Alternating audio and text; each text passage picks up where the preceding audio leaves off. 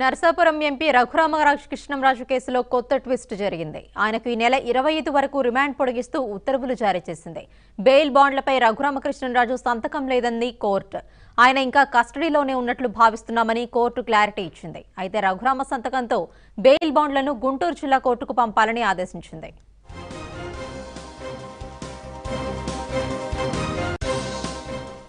దీనికి సంబంధించిన మరింత ఇన్ఫర్మేషన్ మా ప్రతినిధి రాజేష్ అందిస్తారు. Rajesh. Sujana YCP rebel MP ఆ, రఘురామకృష్ణరాజు బెయిల్ పిటిషన్లో సాంకేతిక సమస్యలు తలెత్తాయి. అయితే ఈ నెల ఇరవై ఐదు వరకు కూడా రఘురామకృష్ణరాజుకు కు రిమాండ్ పొడిగిస్తున్నట్టు సిఐడి కోర్టు ఆదేశించింది. మరోవైపు సుప్రీంకోర్టు బెయిల్ ఆ, ఇచ్చినప్పటికీ కూడా ఆ బెయిల్ పిటిషన్కు సంబంధించినటువంటి బాండ్స్ ఏవైతే ఉన్నాయో వాటి మీద రఘురామకృష్ణరాజు సంతకం చేయలేదు. ఆ సంతకంతో ఆ, జైలర్ ఆ, బెయిల్ పూచీకత్తుపై రఘురామ సంతకాలు తీసుకొని జైలు అధికారులు పంపించాలని కూడా చెప్పింది. మరొక రఘురామ సంతకాలు లేకుండా వారెంట్ జిల్లా జైలు వద్ద పెండింగ్లో ఉన్న నేపథ్యంలో రిమాండ్ పొడిగిస్తున్నట్టు కూడా ఈ నెల ఇరవై ఐదు వరకు రిమాండ్ పొడిగిస్తున్నట్టు సిఐడి కోర్టు ఆదేశాలు జారీ చేసింది.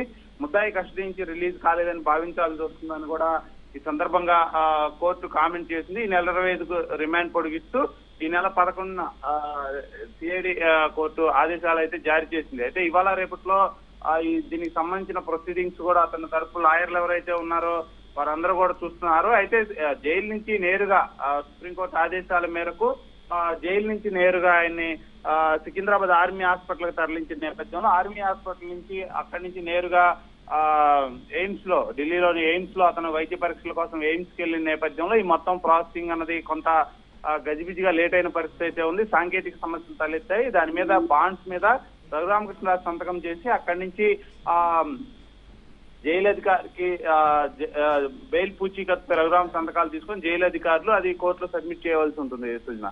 Right thank you Rajesh